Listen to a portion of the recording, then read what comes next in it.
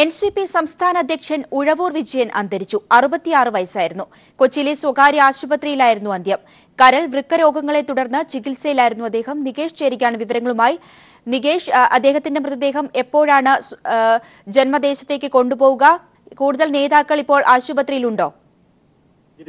അന്തരിച്ച N C P സംസ്ഥാന അധ്യക്ഷൻ ഉഴവൂർ വിജയന്റെ മൃതദേഹം ഇപ്പോൾ കൊച്ചിയിലെ ആസ്റ്റർ മെഡിസിറ്റിയിൽ നിന്ന് അദ്ദേഹത്തിന്റെ സ്വന്തം ജില്ലയായ കോട്ട് പോവുകയാണ്.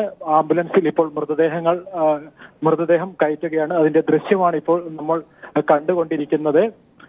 പത്ത് മണിയോടുകൂടെ തന്നെ അദ്ദേഹത്തിന്റെ മൃതദേഹം കോട്ടയത്തേക്ക് കൊണ്ടുപോകുമെന്നാണ് അറിയിച്ചിരുന്നത്. അതിന് പ്രകാരം അദ്ദേഹത്തിന്റെ മൃതദേഹം ആംബുലൻസിൽ കയറ്റി രാഷ്ട്രീയ സാംസ്കാരിക സാമൂഹിക രംഗത്തെ നിരവധി പേരാണ് ഇപ്പോൾ കൊച്ചിയിലെ ആശുപത്രിയിൽ എത്തിയിരിക്കുന്നത്. മന്ത്രി Kadannappally Ramachandran C P I M ജില്ലാ secretary P Rajeev M L എമാരായ V D Satheesan P T Thomas Saseendran തുടങ്ങിയ തുടങ്ങിയവരെല്ലാം തന്നെ ആശുപത്രിയിൽ ഉണ്ട്. അദ്ദേഹത്തെ മൃതദേഹത്തെ ഒരു നോക്ക് കാണാൻ അവസാനമായി കാണാൻ വേണ്ടി ആശുപത്രിയിൽ എത്തി എത്തി എത്തിയിട്ടുണ്ട്. മൃതദേഹം ഇപ്പോൾ ആംബുലൻസിൽ കയറ്റി കഴിഞ്ഞിരിക്കുന്നു. പന്ത്രണ്ട് മണിയോടുകൂടി മൃതദേഹം ഉഴവൂർ വിജയന്റെ ഉഴവൂർ വിജയന്റെ കർമ്മമണ്ഡലമായ കോട്ടയം കോട്ടയത്തേക്ക് കൊണ്ടുപോകും. പന്ത്രണ്ട് മണി വരെ കോട്ടയത്ത് പൊതുദർശനത്തിന് വെക്കും. അതിനുശേഷം ഇപ്പോൾ മന്ത്രി കടന്നപ്പള്ളി രാമചന്ദ്രൻ മാധ്യമങ്ങളോട് മാധ്യമങ്ങളോട് സംസാരിക്ക സംസാരിക്കുകയാണ്.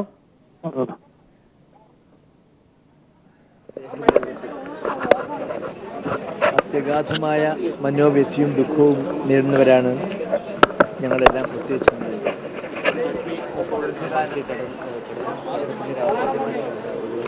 അതാണ് ഇവിടെ ഒരു വിജയനുമായി യൂത്ത് കോൺഗ്രസ്.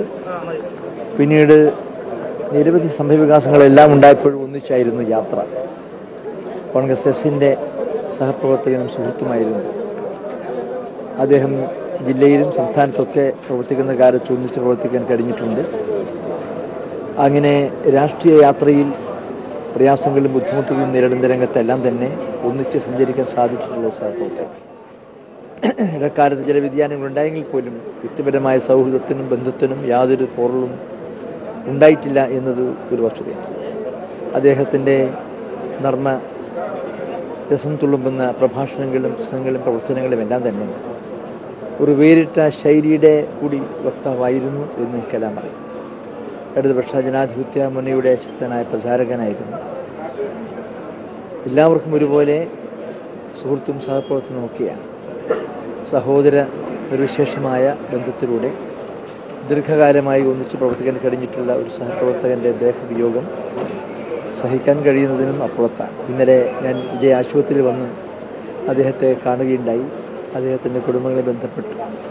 ഇതിലെ ഡോക്ടർമാർ സാഹചര്യത്തിന്റെ ഗൗരവം ബോധ്യപ്പെടുത്തിയപ്പോഴാണ് ഏത് നിമിഷവും എന്ത് സംഭവിക്കുമെന്ന നിലയിൽ വളരെയധികം മാനസിക സംഘർഷങ്ങളിലൂടെയാണ് തിരിച്ചു പോയത്.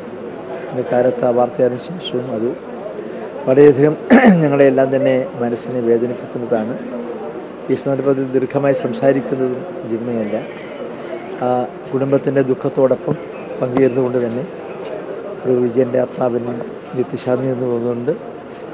ദീർഘകാലത്തെ ആത്മബന്ധമുള്ള ഒരു സുഹൃത്തിന്റെ അകാല ദേഹവിയോഗം വരുത്തി വെച്ച ദുഃഖത്തിന് മുമ്പിൽ മുഖമായി നിൽക്കാൻ മാത്രമേ ഞാൻ സത്യത്തിൽ ആഗ്രഹിക്കൂ.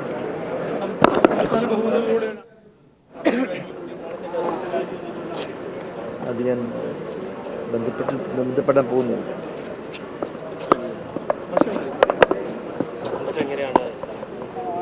ഇവിടെ വരുന്ന സുഹൃത്തിനെ രാഷ്ട്രീയ പ്രവർത്തകനെ എൽ ഡി എഫ് നേതാവിനെ ഓർക്കുന്നത്? ഇടതുപക്ഷ ജനാധിപത്യ മുന്നണിയുടെ സംസ്ഥാനത്തെ അമരക്കാരിൽ വളരെ പ്രധാനപ്പെട്ട ഒരാളായിരുന്നു ശ്രീ ഉഴവൂർ എൻ സി പിയുടെ സംസ്ഥാനത്തെ അതിന്റെ സാരഥിയായി കഴിഞ്ഞ എത്രയോ വർഷങ്ങളായി അദ്ദേഹം പ്രവർത്തിക്കുകയായിരുന്നു. വ്യക്തിപരമായി വളരെ നല്ല ബന്ധം അടുത്ത ബന്ധമായി അദ്ദേഹവുമായിട്ടുണ്ടായിരുന്നത്. നമ്മുടെ സംസ്ഥാനത്തെ ഇടതുപക്ഷ ജനാധിപത്യ മുന്നണിയിലെ ഏറ്റവും ഊർജസ്വലനായ ഏറ്റവും ഉജ്ജ്വലനായ ഒരു പ്രാസംഗികനായിരുന്നു ശ്രീ ഉഴവ്. നർമ്മം കലർന്ന അദ്ദേഹത്തിന്റെ പ്രസംഗം കേൾക്കാൻ ആയിരങ്ങൾ എവിടെയും തടിച്ചുകൂടുക പതിവായിരുന്നു. ശ്രീ ഉഴവൂർ ഒരു സമ്മേളനത്തിൽ പങ്കെടുക്കുന്നു എന്ന് കേട്ടാൽ എല്ലാവർക്കും വലിയ ഉത്സാഹമാണ് സന്തോഷമാണ്.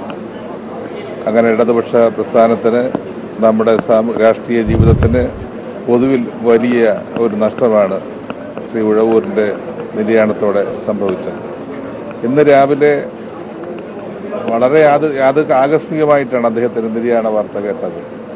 അദ്ദേഹം ഹോസ്പിറ്റലൈസ് ചെയ്തിരുന്ന വിവരം ഞാൻ അറിഞ്ഞ് അറി- അറിയുവാൻ കഴിഞ്ഞില്ല. ഏതായാലും വ്യക്തിപരമായും കേരളത്തിലെ പൊതുജീവിതത്തിനും ഇടതുപക്ഷ ജനാധിപത്യ മുന്നണിക്ക് പ്രത്യേകിച്ചും തീരാ നഷ്ടമാണ് ശ്രീ ഉഴവൂരിന്റെ നിര്യാണത്തോടെ സംഭവിച്ചിരിക്കുന്നത്. അന്തരിച്ച എൻ സി പി സംസ്ഥാന അധ്യക്ഷൻ ഉഴവൂർ വിജയനെ അനുസ്മരിക്കുകയായിരുന്നു മന്ത്രിമാരായ പി തിലോത്തനും കടന്നപ്പള്ളി രാമചന്ദ്രനും. ഉഴവൂർ വിജയന്റെ സംസ്കാരം നാളെ ഉച്ചയ്ക്ക് പന്ത്രണ്ട് മണിയോടുകൂടി നടക്കും. വിവരങ്ങളുമായി പ്രശാന്ത് കൂടി ചേരുകയാണ് പ്രശാന്ത് ഉഴവൂർ വിജയന്റെ ഭൗതിക ശരീരം വഹിച്ചുകൊണ്ടുള്ള ആംബുലൻസ് ഇപ്പോൾ കൊച്ചിയിൽ നിന്നും പുറപ്പെട്ടിരിക്കുകയാണ്.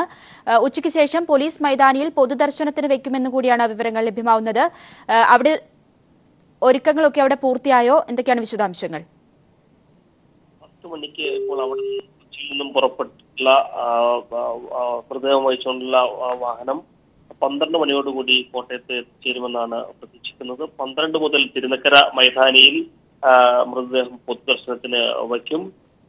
രാഷ്ട്രീയ സാമൂഹ്യ സാംസ്കാരിക മേഖലയിലെ പ്രമുഖർ ഇവിടെ എത്തും എന്നാണ് അറിയാൻ കഴിയുന്നത്. മാത്രവുമല്ല കുഴൂർ വിജയനെ സംബന്ധിച്ച് അദ്ദേഹത്തിന്റെ രാഷ്ട്രീയ പഠന കളരിയാണ് കോട്ടയം. ഇവിടെ നിന്നുമാണ് അദ്ദേഹം സംസ്ഥാന രാഷ്ട്രീയത്തിന്റെ ഭൂമികയിലേക്ക് ചുവടുവെച്ചത്. മാത്രവുമല്ല അദ്ദേഹത്തിന് ഇവിടെ സാധാരണക്കാരായ നിരവധി ആളുകളുമായി അടുത്ത ബന്ധമുണ്ട്. അദ്ദേഹം എപ്പോഴും വരുമ്പോൾ അദ്ദേഹത്തോടൊപ്പം ചേർന്ന് നിൽക്കുന്ന ഒരുപാട് സാധാരണക്കാരായ ജനങ്ങളെ ഈ തന്നെ കാണാൻ കഴിയും. എല്ലാവരും തന്നെ തങ്ങളുടെ പ്രിയപ്പെട്ട നേതാവിനെ ഒരു നോക്ക് കാണാനായി തിരുനക്കരയിലേക്ക് എത്തും. മൂന്ന് മണിവരെയായിരിക്കും കോട്ടയത്ത് പൊതുദർശനത്തിന് വെക്കുക. അതിനുശേഷം ഇവിടെ നിന്നും അദ്ദേഹത്തിന്റെ ജന്മദേശമായ ഉഴവൂരിലെ കുറിച്ചിസ്ഥാനത്തേക്ക് കൊണ്ടുപോകും. തുടർന്ന് നാളെ ഉച്ചയ്ക്ക് പന്ത്രണ്ട് മണി മണിക്കാണ് വീട്ടുവളപ്പിലെ സംസ്കാര ചടങ്ങുകൾ. രാവിലെ നാളെ രാവിലെ പത്ത് മണിക്ക് മുഖ്യമന്ത്രി പിണറായി വിജയൻ അദ്ദേഹത്തിന്റെ വസതിയിലെത്തി അന്തിമോപചാരം അർപ്പിക്കും. കൂടാതെ എൻ സി പിയുടെ ദേശീയ അധ്യക്ഷൻ ശരത് പവാർ താരിഖ് അൻവർ പുൽ പട്ടേൽ തുടങ്ങിയ നേതാക്കൾ സംസ്കാര ചടങ്ങിൽ പങ്കെടുക്കുമെന്നാണ് എൻ സി പി നേതൃത്വം അറിയിച്ചിട്ടുള്ളത്. ഇപ്പോൾ കോട്ടയത്തെ സംബന്ധിച്ച് കോട്ടയത്തേക്ക് അദ്ദേഹത്തിന്റെ മൃതദേഹം വഹിച്ചുകൊണ്ടുള്ള വാഹനം എത്തുമ്പോൾ ഇവിടെ അദ്ദേഹത്തിന് പൊതു ദർശനത്തിന് ആ, അല്ലെങ്കിൽ അദ്ദേഹത്തിന് ആദരാഞ്ജലി അർപ്പിക്കാനുള്ള മറ്റ് ഇപ്പോൾ ഇവിടെ അതിന്റെ ഒരുക്കങ്ങൾ ഏകദേശം ഉഴവൂർ വിജയന്റെ മൃതദേഹം അല്പസമയത്തിനകം കോട്ടയത്ത് എത്തിക്കും. ഉഴവൂർ വിജയന്റെ നിര്യാണത്തിൽ രാഷ്ട്രീയ സാമൂഹ്യ രംഗത്തെ പ്രമുഖർ അനുശോചിച്ചു അവരുടെ വാക്കുകളിലേക്ക്. രാഷ്ട്രീയത്തിൽ ധനത വ്യക്തിത്വവും സംഭാവനയും നിർ- നിർവഹിച്ച നേതാവായി സഹാവ് ഉയർന്നു. സഹാവിന്റെ നിര്യാണം കേരള പൊതുജീവിതത്തിന് തീരാ നഷ്ടമാണ് ഉണ്ടാക്കിയിരിക്കുന്നത്. കുടുംബാംഗങ്ങളോടും അദ്ദേഹത്തിന്റെ പ്രസ്ഥാനത്തിനും അനുശോചനം രേഖപ്പെടുത്തുന്നു. ഇതെല്ലാം നേതാക്കൾ പ്രസംഗിച്ചാലും ആ പ്രസംഗം കഴിഞ്ഞിട്ട് സാധാരണ നേതാക്കൾ പ്രസംഗിച്ച് ജനം പിരിഞ്ഞു പോകുന്ന സ്ഥിതിയാണെങ്കിൽ ഓരോ വിജയം കൂടി പ്രസംഗിക്കാനുണ്ടെന്ന് പറഞ്ഞാൽ ജനം കാത്തിരിക്കുന്ന ഒരു സ്ഥിതി കണ്ടിരുന്നു. പൊതുയോഗങ്ങളിൽ നന്നായി ഹരിതരസമായ പ്രസംഗങ്ങൾ നടത്തിയ ആളുകളെ ആകർഷിക്കുന്നത് കേരളത്തിലെ ഇടതുപക്ഷ പ്രസ്ഥാനങ്ങളിൽ പ്രധാന റോളായിരുന്നു വിജയൻ വഹിച്ചിരുന്നത്. അദ്ദേഹത്തിന്റെ നിര്യാണം തീർച്ചയായും ഇടതുപക്ഷ പ്രസ്ഥാനങ്ങൾക്കൊരു കനത്ത നഷ്ടമാണ് പെട്ടെന്ന് അദ്ദേഹത്തിന്റെ അന്ത്യം സംഭവിച്ചെന്ന് അറിഞ്ഞില്ല. ഇടതുപക്ഷ പ്രസ്ഥാനത്തിനും കേരളത്തിലെ പുരോഗമന പ്രസ്ഥാനങ്ങൾക്കുമൊക്കെ വിജയന്റെ ഏഹ്, നിര്യാണം ഒരു കനത്ത നഷ്ടമാണ്. അദ്ദേഹത്തിന്റെ കുടുംബാംഗങ്ങളോടുള്ള അത്യഗാധമായ ദുഃഖവും അനുശോചനവും ഞാൻ ഈ അവസരത്തിൽ രേഖപ്പെടുത്തുന്നു. വളരെ അടുത്ത ഹൃദയബന്ധമുള്ള ഒരു ഉറ്റ സുഹൃത്തിന്റെ തികച്ചും ഇഷ്ടമായ മരണമാണ് ഉഴവൂർ വിജയന്റെ ഈ മരണം. വളരെ അടുത്ത വ്യക്തിബന്ധവും ഞങ്ങൾ തമ്മിലുണ്ടായിരുന്നു. അദ്ദേഹത്തിന്റെ വേർപാട് ദുഃഖിക്കുന്നു. കുടുംബാംഗങ്ങളോടും സുഹൃത്തുക്കളോടും എൻ സി പിയോടും ദുഃഖവും അനുശോചനവും അറിയിക്കുന്നു. മുഴുവൻ വിജയൻ തനിക്ക് വേണ്ടിയോ തന്റെ മക്കൾക്ക് വേണ്ടിയോ ഭാര്യയ്ക്ക് വേണ്ടിയോ ഒന്നും സമ്പാദിച്ചില്ല. ഉള്ളതെല്ലാം സുഹൃത്തുക്കൾക്കും ബന്ധുക്കും വേണ്ടി മാത്രം സമൂഹത്തിന് നന്മ ചെയ്ത് കടന്നുപോയ വലിയ മനുഷ്യന്റെ ഓർമ്മയ്ക്ക് മുമ്പിൽ കേരള ജനപക്ഷത്തിന് വേണ്ടി മാത്രമല്ല വ്യക്തിപരമായി ഒരു സുഹൃത്ത് എന്ന നിലയിലും ഞാൻ അഗാധമായ ദുഃഖം രേഖപ്പെടുത്തുകയാണ്. അദ്ദേഹത്തിന്റെ കുടുംബാംഗങ്ങളും ദുഃഖം രേഖപ്പെടുത്തുകയാണ്. ശ്രീ വിജയനെ കുറിച്ച് ഓർക്കുമ്പോൾ ഒട്ടനവധി പഴയ കാര്യങ്ങൾ ചിന്തിച്ച് പോവുകയാണ്. ഞാൻ അദ്ദേഹത്തിന്റെ ഒരു നിര്യാണത്തിൽ അനുശോചനം രേഖപ്പെടുത്തുകയാണ്. ഇടതുപക്ഷ പ്രസ്ഥാനത്തിന്റെ ശക്തനായ ഒരു നേതാവും കേരളത്തിലൊരു ജനകീയ പ്രവർത്തകനുമായിരുന്നു. അദ്ദേഹത്തിന്റെ നഷ്ടം കേരളത്തിലെ ഇടതുപക്ഷ പ്രസ്ഥാനം പുരോഗമന പ്രസ്ഥാനത്തിന് ഏറ്റവും വലിയ നഷ്ടം തന്നെയാണ്. കേരള രാഷ്ട്രീയത്തിൽ നർമ്മത്തിന്റെ മേമ്പൊടി ചാലിച്ച് ആളെ കൂട്ടുന്നവരിൽ ആദ്യ നിരയിലാണ് ഉഴവൂർ വിജിന്റെ സ്ഥാനം. എന്നും സാധാരണക്കാരുടെ നേതാവായി ഇടതുപക്ഷത്ത് നിലയുറപ്പിച്ച അദ്ദേഹത്തിന്റെ രാഷ്ട്രീയ ജീവിതത്തിലൂടെ.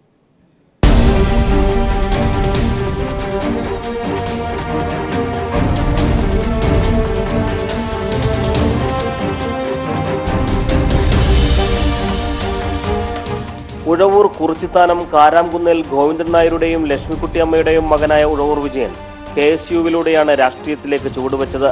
ബിരുദധാരിയായ ഉഴവൂർ വിജയൻ പിന്നീട് കെ എസ് യു സംസ്ഥാന സെക്രട്ടറിയായും യൂത്ത് കോൺഗ്രസ് സെക്രട്ടറിയായും പ്രവർത്തിച്ചു. ഇന്ദിരയുടെ അടിയന്തരാവസ്ഥയ്ക്കെതിരെ കലഹിച്ച് കോൺഗ്രസ് പിളർന്നപ്പോൾ ആന്റണിക്കൊപ്പം നിന്നു. പിന്നീട് കോൺഗ്രസ് എസിലൂടെ എൻ സി പിയിലെത്തി ഇടതുപക്ഷത്തോടൊപ്പം നിലയുറപ്പിച്ചു. ആദ്യ ജില്ലാ കൗൺസിൽ തെരഞ്ഞെടുപ്പിൽ കുമാരനല്ലൂർ ഡിവിഷനിൽ നിന്ന് വൻ ഭൂരിപക്ഷത്തോടെ വിജയിച്ചു. രണ്ടായിരത്തി ഒന്നിലെ നിയമസഭാ തെരഞ്ഞെടുപ്പിൽ പാലായിൽ കെ എം മാണിക്കെതിരെ മത്സരത്തിനിറങ്ങി. എൻ സി പി ദേശീയ സമിതി അംഗം സംസ്ഥാന vice president media committee chairman.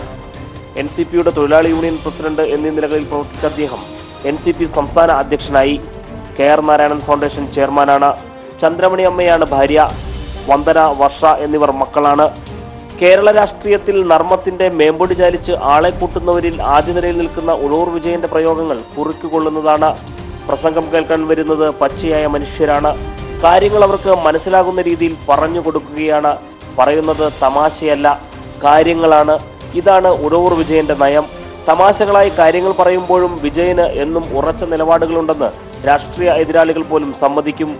മത്സരിക്കാൻ സീറ്റ് കിട്ടിയില്ലെങ്കിൽ മരിക്കാനൊന്നും പോകുന്നില്ല. എന്നാൽ എൽ ഡി എഫിനായി മരിക്കാൻ തയ്യാറാണ്. ഇടതുപക്ഷ പ്രസ്ഥാനങ്ങളോടുള്ള കൂറ് പ്രകടമാക്കുന്നതാണ് ഉഴവൂർ വിജയന്റെ ഈ വാക്കുകൾ. T P Prasanth news bureau Kottayam.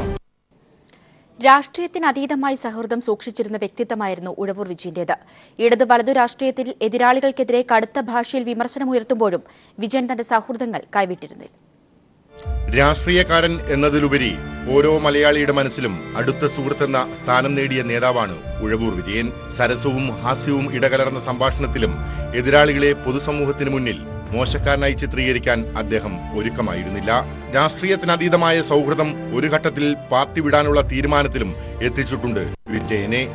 എതിരാളികൾ പോലും നേരിൽ കാണുമ്പോൾ കുശലാന്വേഷണവുമായി അടുത്തുകൂടുന്നത് തന്നെ കേരളത്തിൽ ഉഴപൂരുന്ന രാഷ്ട്രീയക്കാരനല്ലാതെ മറ്റാർക്കും അവകാശപ്പെടാൻ കഴിയില്ല. ഇടതുവലത് രാഷ്ട്രീയത്തിന്റെ ഭാഗമായിരുന്നപ്പോഴും ഉഴവൂറിന്റെ ശൈലിയിലും പ്രവർത്തന രീതിയിലും മാറ്റമുണ്ടായില്ല. കെ എസ് യുവിന്റെ യൂണിവേഴ്സിറ്റി യൂണിയൻ സെക്രട്ടറി സ്ഥാനത്തു നിന്നും കാലഘട്ടങ്ങൾക്കിപ്പുറം എൻ സി പിയുടെ സംസ്ഥാന അധ്യക്ഷൻ പദവിയിൽ എത്തിയപ്പോഴും പൊതുരംഗത്തെ സൗഹൃദങ്ങൾ തന്നെയായിരുന്നു ഉഴവൂറിന്റെ മുതൽക്കൂട്ട്. എതിരാളികളെ ശക്തമായ ഭാഷയിൽ വിമർശിക്കുമ്പോഴും നേരിൽ കാണുമ്പോൾ കൈകൊടുത്തും തോളിൽ തട്ടിയും തമാശ പറഞ്ഞും വിജയൻ തന്റെ സൗഹൃദം ദൃഢമാക്കാൻ എന്നും ശ്രമിക്കുമായിരുന്നു. ഉഴവൂർ വിജയൻ വിടവാങ്ങുമ്പോൾ രാഷ്ട്രീയത്തിലെ സൗഹൃദത്തിന്റെ പുഞ്ചിരിയാണ് അസ്തമിക്കുന്നത്. News bureau Thiruvananthapuram. ചിന്തിപ്പിക്കുന്ന നിരീക്ഷണങ്ങളും ചിരിപ്പിക്കുന്ന നമ്പറുകളും കുറിക്കൊള്ളുന്ന വിമർശനങ്ങളുമായിരുന്നു ഉഴവൂർ വിജയന്റേത്. തെരഞ്ഞെടുപ്പ് സമയങ്ങളിൽ ഹാസ്യം ചേർത്ത് അദ്ദേഹം പൊട്ടിച്ച അമിട്ടുകൾ മണിക്കൂറുകൾ നീണ്ട പ്രസംഗത്തെക്കാളും ദിവസങ്ങൾ നീണ്ട പ്രചരണത്തെക്കാളും വളരെ വേഗത്തിൽ ഹിറ്റായിരുന്നു. സേതി ഹാജിയുടെയും നായനാരുടെയും കരുണാകരന്റെയും ഫലിതങ്ങളും നമ്പാടന്റെ നമ്പരുകളും കേരളം ഇന്നും ഓർത്തോർത്തു ചിരിക്കുന്നവയാണ് ഇവർ അന്നുപയോഗിച്ച വാക്കുകൾക്ക് പുറമൂടി നൽകി പുതുതലമുറക്കാർ നമ്പറിടുമ്പോഴും പഴയ മൂർച്ച കിട്ടാറില്ല പലതിനും. ഹാസ്യരസം നിറച്ച് എതിരാളികൾക്ക് നേരെ വാക്കുകൾ പ്രയോഗിക്കുന്ന സരസന്മാരായ രാഷ്ട്രീയക്കാരെ കക്ഷിഭേദമില്ലാതെ കേരളം സ്വീകരിച്ചിട്ടുണ്ട് എല്ലാ കാലത്തും. ഹാസ്യത്തിന്റെ മേമ്പൊടി ചേർത്ത് പ്രസംഗിക്കുന്നവരിൽ പ്രമുഖൻ ഉഴവൂർ വിജയനായിരുന്നു. യു ഡി എഫ് എന്ന് പറഞ്ഞാൽ തന്നെ മറ്റൊരു ലോകം നൽകിയ പേർ കല്യാൺ എന്നതുപോലെ യു ഡി എഫിന് ജനങ്ങൾ നൽകിയ നിർവചനം ഉട്ടായിപ്പ് ഡെവലപ്മെന്റ് ഫ്രണ്ട് എന്ന് പറയേണ്ടതായ അവസ്ഥയിലാണ് യു ഡി എഫിന്റെ പ്രവർത്തനം. അദ്ദേഹത്തിന്റെ ചിന്തിപ്പിക്കുന്ന നിരീക്ഷണങ്ങളും ചിരിപ്പിക്കുന്ന നമ്പറുകളും കുറിക്കുകൊള്ളുന്ന വിമർശനങ്ങളും പുതിയ തലമുറ പോലും ചർച്ച ചെയ്തിരുന്നു. മണി വാങ്ങുക എന്നുള്ളതാണ് അവരുടെ ഏറ്റവും വലിയ വിഷയം. കേരളത്തിലെ മന്ത്രിസഭയിൽ ഇരുപത് മണിക്കുട്ടന്മാരും ഒരു മണിക്കുട്ടിയുമാണ് ഉള്ളത് നമ്മുടെ ജയലക്ഷ്മി മണിക്കുട്ടി ഭാവം. അതിന് അഞ്ചു പൈസ കിട്ടുന്നില്ല ഉള്ള കാര്യം പറയാറില്ല. അതിനൊട്ട് കാശ് ഉണ്ടാനും അറിയത്തില്ല. ആകെപ്പാടെ അല്ലാതെ എന്നെ ഉപദ്രവിക്കുന്നില്ല എന്ന് മാത്രമേ ഉള്ളൂ. ഞാൻ ആദ്യമൊക്കെ പേടിച്ച് ക്യാബിനറ്റിലൊക്കെ കയറി ഇരുന്നാൽ വല്ല കുഴപ്പം ഉണ്ടാവുമോ? ഇത് വലിയൊന്നും ഉണ്ടായില്ല അത് നോക്കി കണ്ടു വന്നിരിക്കുന്നു അപ്പൊ അത് ഞാൻ ചോദിച്ചു വയനാട്ടുകാരോട് അതെന്നാ? അത് ഇത്ര ധൈര്യമായിട്ടൊക്കെ പോയിരിക്കുന്നത്? അതെ അതെ ചേട്ടാ അമ്പും വില്ലും കൃത്യമായി എഴുതാൻ അറിയാവുന്ന അതുകൊണ്ട് അങ്ങനെയൊന്നും ആരും കയറിയൊന്നും മുട്ടത്തില്ലല്ലോ ഏതായാലും അത് അവിടെ ഇരിപ്പുണ്ട്. ഗൗരവമുള്ള പ്രസംഗത്തിന് ഇരുന്നു കൊടുക്കാൻ രാഷ്ട്രീയത്തെ ഗൗരവത്തോടെ കാണുന്നവർ പോലും ഇന്ന് തയ്യാറല്ലാത്ത സാഹചര്യത്തിലായിരുന്നു ഉഴവൂരിനെ ആളുകൾ കേട്ടത്. പൊതുവെ രാഷ്ട്രീയത്തെ ഗൗരവമായി കാണാത്ത പുതുതലമുറയ്ക്കും രാഷ്ട്രീയം കേട്ടുമടുത്ത പഴയ തലമുറയ്ക്കും ഗൗരവം വിട്ട് നേതാക്കൾ അല്പം തമാശ പറയുന്നതിലെ താല്പര്യം കൂടിയത് ഉഴവൂരിലൂടെയായിരുന്നു. ഒരു കുഞ്ഞുഞ്ഞിന്റെ വീത ഇത്രയും വലിയ കല്ല് വന്നു വീണ പിന്നെ കുഞ്ഞുഞ്ഞ് മറ്റേ പന്ത്രണ്ട് പത്ത് ലോറികളിൽ തവള പോയ പോലെ ആകേണ്ടതാണ്. പക്ഷെ ആ കല്ല് ഒരു മാന്ത്രിക ശക്തിയുള്ള കല്ലായിരുന്നു മാണിക്യ കല്ലായിരുന്നു. മിക്കവാറും ആ കല്ലുമായിട്ട് അടുത്ത തെരഞ്ഞെടുപ്പിൽ അവരും യാത്ര നടത്താൻ സാധ്യതയുണ്ട്. കല്ലിന് സ്വീകരണം മാലയിടുക മകളാക്കാരൊക്കെ കൂടെ വന്ന് വലിയ ബഹളമൊക്കെ ആയിരിക്കും. അത് ചിതാഭസ്മൊക്കെ കൊണ്ടിരുന്നത് പോലെ ഉള്ള ചില കലാപരിപാടികളൊക്കെ വോട്ടിന് വേണ്ടി അവർ നടത്താൻ തയ്യാറാണ്. പക്ഷേ കല്ലെന്ന് പറഞ്ഞാൽ നമുക്കറിയാം. ഈ ബസിന്റെ ചില്ലിനിട്ട് വേറെറിഞ്ഞാൽ ആ ചില്ല് ചടങ്ങി പല കഷ്ണമായിട്ട് അവിടെ ഇരിക്കും. ചിലപ്പോ കല്ലകത്തോട്ട് പോയെന്നിരിക്കും എന്നാലും ചിലപ്പോ പോകാറ് അങ്ങനെ പോകാൻ സാധ്യതയില്ല. പക്ഷെ ഈ കല്ല് അങ്ങനെയല്ല ഇടതുവശത്ത് ചില്ലിനിടയിലൂടെ കടന്നു വന്നപ്പോൾ ഉമ്മൻചാണ്ടിയുടെ മൂക്കാണ് ആദ്യം കല്ലിന് ദൃശ്യമായി. വലിയ മൂക്കാണല്ലോ അദ്ദേഹത്തിന്റെ. ആ മൂക്കൽ തട്ടാതെ ആ കല്ല് നേരെ ആ ചില്ലിനിട്ട് തട്ടിയിട്ട് ആ ചില്ലിന്റെ ഒരു കഷ്ണം വന്ന് അദ്ദേഹത്തിന്റെ നെറ്റിയിലേക്ക് വന്നു. കല്ലവിടെ കൊണ്ട് നിന്നില്ല. ഹാസ്യം ചേർത്ത് ഉഴവൂർ പൊട്ടിച്ച അമിട്ടുകൾ മണിക്കൂറുകൾ നീണ്ട പ്രസംഗത്തെക്കാളും ദിവസങ്ങൾ നീണ്ട പ്രചരണത്തെക്കാളും വളരെ വേഗത്തിൽ ഹിറ്റായിരുന്നു. കേരള രാഷ്ട്രീയത്തിൽ നർമ്മത്തിന്റെ മേമ്പൊടി ചാലിച്ച് ആളെ കൂട്ടുന്നവരിൽ ഉഴവൂരിന് ആദ്യ നിരയിൽ തന്നെ സ്ഥാനമുണ്ടായിരുന്നു. ന്യൂസ് ഡെസ്ക് മെഡിക്കൽ കോളേജ് അഴിമതി വിഷയത്തിൽ വിജിലൻസ് നാളെ പരാതിക്കാരൻ ഉൾപ്പെടെ കൂടുതൽ പേരിൽ നിന്നും മൊഴിയെടുക്കും. കോഴ നൽകിയ കോളേജ് ഉടമ ഷാജി ബി ജെ പി അന്വേഷണ കമ്മീഷൻ അംഗങ്ങളായ K P Sreesan A K Nazeer എന്നിവരോട് മൊഴി നൽകാൻ എത്തണമെന്ന് കാണിച്ച് വിജിലൻസ് നോട്ടീസ് അയച്ചിട്ടുണ്ട്. എന്നാൽ നടപടികൾ ഉൾപ്പെടെ എല്ലാ തീരുമാനങ്ങളും കേന്ദ്ര തീരുമാനത്തിന് കൈമാറി കാത്തിരിക്കുകയാണ് സംസ്ഥാന നേതൃത്വം. ബി ജെ പി നേതൃത്വത്തെ വെട്ടിലാക്കിയ സ്വാശ്രയ മെഡിക്കൽ കോളേജ് കോഴ അഴിമതിയിൽ വിജിലൻസ് അന്വേഷണം ആവശ്യപ്പെട്ട തിരുവനന്തപുരം കോർപ്പറേഷൻ മുൻ കൌൺസിലർ എ ജെ സുക്കാർണോയാണ് പരാതി നൽകിയത്. പരാതിയെ തുടർന്ന് വിജിലൻസ് ഡയറക്ടർ അന്വേഷണ ചുമതല സ്പെഷ്യൽ ഇൻവെസ്റ്റിഗേഷൻ എസ് പി ജയകുമാറിന് കൈമാറി. എസ് പി ജയകുമാർ കഴിഞ്ഞ ദിവസം പരാതിക്കാരനായ സുക്കാർണോയിൽ നിന്ന് മൊഴിയെടുത്തിരുന്നു. ബി ജെ പി അന്വേഷണ കമ്മീഷൻ റിപ്പോർട്ടുമായി ബന്ധപ്പെട്ട് പുറത്തുവന്ന വാർത്തകളും പരാതിക്കാരൻ വിജിലൻസിന് കൈമാറി. റിപ്പോർട്ടിൽ പരാമർശിക്കുന്ന കോഴ നൽകിയ S R trust chairman Shaji report തയ്യാറാക്കിയ ബി ജെ പി സംസ്ഥാന vice president K P Sreesan B J P സംസ്ഥാന സെക്രട്ടറി എ കെ നസീർ എന്നിവരോട് തിങ്കളാഴ്ച നേരിട്ട് ഹാജരാകാൻ അന്വേഷണ കമ്മീഷൻ നോട്ടീസ് അയച്ചിട്ടുണ്ട്. അതേസമയം കോഴ അഴിമതി ചർച്ച ചെയ്യാൻ ബി സംസ്ഥാന നേതൃയോഗവും കോർ കമ്മിറ്റിയും ചേർന്നെങ്കിലും ആരോപണ വിധേയർക്കെതിരെ നടപടി സ്വീകരിക്കുവാനോ റിപ്പോർട്ട് ചോർത്തിയവരെ പുറത്താക്കാനോ തയ്യാറായിട്ടില്ല. ബി ജെ പി സംസ്ഥാന ഘടകത്തിന് ക്ഷീണമുണ്ടാക്കിയ കോഴ വിഷയത്തിൽ ആരോപണ വിധേയർക്കെതിരെ ശക്തമായ നടപടി വേണമെന്ന സംസ്ഥാന നേതൃയോഗത്തിൽ ആവശ്യമുയർന്നിരുന്നു. എന്നാൽ ഇതിനെ നിരാകരിച്ച് എം ടി രമേശിന് ഗുഡ് സർട്ടിഫിക്കറ്റ് നൽകുകയായിരുന്നു.